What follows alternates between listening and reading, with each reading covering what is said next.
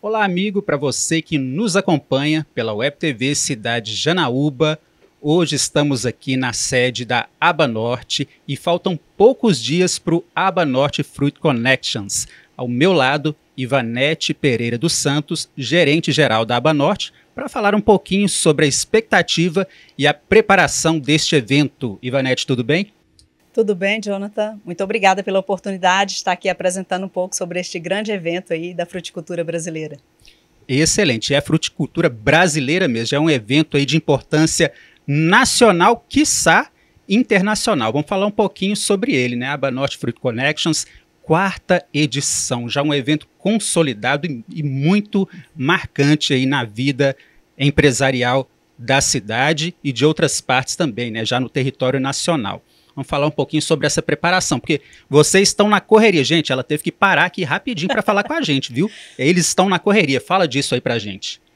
Então, Jonathan, é, o Fruit Connections foi um evento é, muito sonhado, né? Desde 2017 a gente começou a realizar e esse ano ele está muito potente. Além da quarta edição do Abanorte Fruit Connections, nós também temos a quarta edição do Workshop Internacional sobre Fitossanidade, que é o Banana Fit, o Banana Fit é uma iniciativa da Embrapa Mandioca e Fruticultura e dois eventos desse porte, você sabe que a potência é muito grande, né, para todos que vão participar aqui, né, do Brasil e do exterior, né? A gente já tem caravanas aí de outros países confirmadas.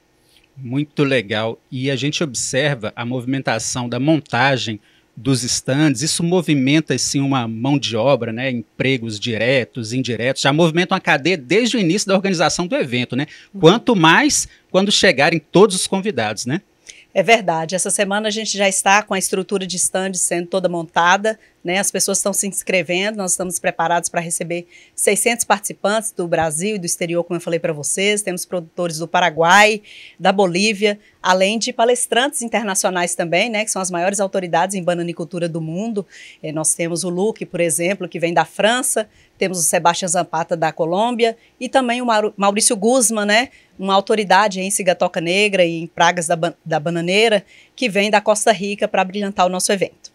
E serão devidamente traduzidos, né? Porque, gente, a Aba Norte tem mulheres aí, mulher você já sabe, né? Dá show na organização dos eventos, já está tudo prontinho, né? Exatamente. Para você ter uma ideia da magnitude deste evento, nós estamos, estamos disponibilizando para os participantes a tradução simultânea para que eles realmente eles absorvam todo o conhecimento que vai ser passado nesse, nesses dias aí de dessa jornada de saber e sabor. Ok, começa na segunda-feira, dia 27, não é isso? Exatamente. A partir do meio-dia já temos o credenciamento, né? São mais de 30 expositores que estão conosco, além de instituições do segmento bastante relevantes, né, para a fruticultura brasileira. A tarde do dia 27 ela é dedicada tanto para falar da organização setorial, como que isso está sendo mais robusto, né, com uma atuação muito importante da FAENG. Também falaremos das startups do agronegócio e à noite a gente vai celebrar os 30 anos da nossa instituição, que a gente é, criou aí, com, né, instituiu, na verdade, com muito, com muito trabalho, né, com muita luta, né, eu falo sangue, suor e lágrimas, para a Banorte chegar hoje aos seus 30 anos, né, robusta como ela é. E além disso, nós também estamos lançando a marca territorial, que é o 100% Nortineiro, é um, movimento de desenvolvimento territorial do norte de Minas, iniciando pela cadeia da fruticultura e depois abarcar outras, outras cadeias importantes na nossa região, como por exemplo a cachaça, o mel, que já tem indicações geográficas, né? As nossas frutas também têm a indicação geográfica da região do Jaíba, e a indicação geográfica, para quem não sabe, é um reconhecimento daquele território que tem o saber fazer de produzir é, ou fazer um serviço que ele é notório para as pessoas e para o, principalmente para o consumidor. Bom, agora vamos falar um pouquinho mais sobre a mão de obra, a montagem dos estandes, como é que está esse processo, essa estrutura que vocês estão montando, por favor. Então, Jonathan, nós temos é, cerca de 30 estandes, né? Na verdade, exatamente 30 estandes, todos já ocupados, tem demanda para mais estandes, mas infelizmente não temos como atender nesse momento, né? Nós temos várias equipes, né, multidisciplinares trabalhando. Como eu te falei, a gente tem a questão da tradução simultânea. Temos uma equipe muito competente que a gente trouxe de outra região para trazer a melhor infraestrutura para os expositores e também para, para que a gente tenha condições de mostrar as melhores é, tecnologias que existem para o segmento, né? Por exemplo, nós temos embalagens de isopor, que são uma, uma novidade para o segmento da banana, por exemplo, né? Já é utilizado em outras cadeias da, da fruta aí, como a uva, e na banana estamos fazendo os testes, né? A Isoforte, que é uma empresa bem relevante aí é, que tem até é, um ponto aqui na região, né, uma indústria, já está é, conosco aqui também.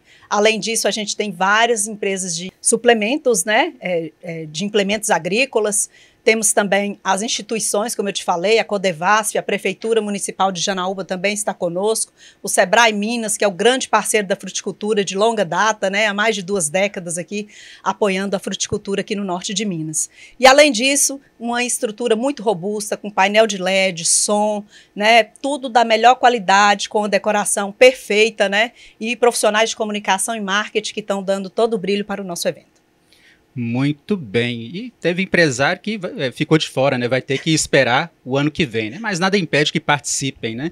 Do uhum. evento para mo movimentar aí essa cadeia produtiva, movimentar a economia.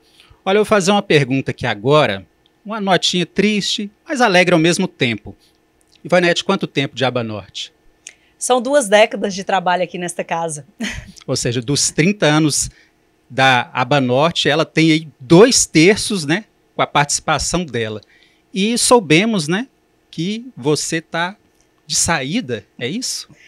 É, eu acho que na vida todos os ciclos eles têm início, meio e fim, né? Eu cumpri uma longa jornada bonita aqui. A Banorte e eu crescemos juntas nesse período. Né? A Banorte foi importante para mim, como eu também sei, sem modéstia, que eu também fiz a diferença aqui na associação. Isso é Graças é reconhecido pelos nossos associados, né? A gente tem, vamos dizer, uma amizade de longa data aí de duas décadas, né? E assim eu saio com o coração repleto de gratidão, né? Dia 27, quando a Banorte com, é, completa os 30 anos, é também o dia, meu último dia, né? É, de forma oficial aqui na Banorte.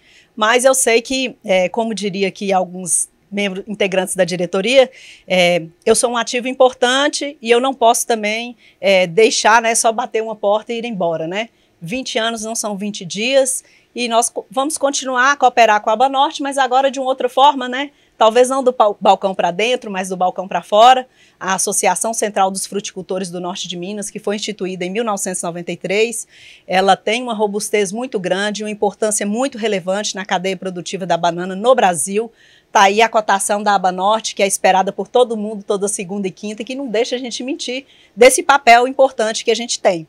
Então, assim, eu vou levar muitos amigos, vou continuar no segmento da fruticultura, que é na agroindústria, né? Agora em outro, em outro município, vou iniciar as atividades lá em Jaíba com outros dois sócios, mas eu só tenho gratidão pela Banorte, por tudo que eu vivi aqui, pelas lágrimas, né, pelas vibrações com as nossas conquistas, mas tudo foi muito importante para ser quem eu sou hoje, como pessoa e como profissional. Maravilha. O público também tem muita gratidão com você e, e já que esse evento é especial, particularmente porque vai ser o seu último pela Aba Norte, por favor, faz um convite especial. Faltam poucos dias, então reforça aí para nós. Então, telespectadores, eu espero todos vocês aqui no Fruit Connections e Banana Fit, né, na sua quarta edição, uma jornada de saber e sabor com muita muitas palestras interessantes. Eu frisei aqui só o dia 27, mas no dia 28 a gente tem palestras muito potentes, como a Rita Mundinha, economista, que é, fala também do mercado de capitais e vai trazer uma mensagem muito importante para nós que produzimos alimentos. Né? É, temos também um panorama sobre a fruticultura de exportação com o Luiz Barcelos, maior exportador de melão do mundo, né? um grande parceiro da Banorte, que no primeiro momento já aceitou nosso convite para vir aqui palestrar. Temos também o Sebrae falando da região é, do Jaíba, com a indicação geográfica. Vamos ter uma abordagem sobre é, os supermercados, como a gente é, é, diminui essa distância entre o varejo e o produtor aqui, né?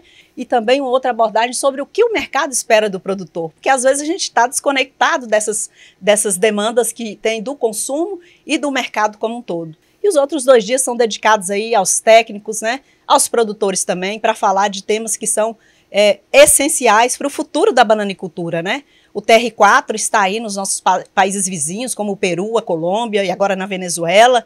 Então, o, o risco né, é iminente de, de entrar aqui no nosso país e nós temos, temos que estar preparados né, e não percam essa grande oportunidade. É um evento internacional, tem robustez internacional e você tem que estar aqui nesse período de 27 a 30 de março, o melhor lugar para estar quando as águas de março encerram o verão. Obrigado. Obrigado, Ivanete. Sucesso aí na sua caminhada.